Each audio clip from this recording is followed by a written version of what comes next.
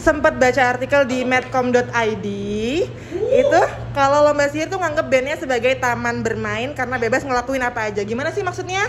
Ini kayak gini. Nah, eh, kayak gini Pokoknya setiap member itu memiliki karakter dan keunikan masing-masing.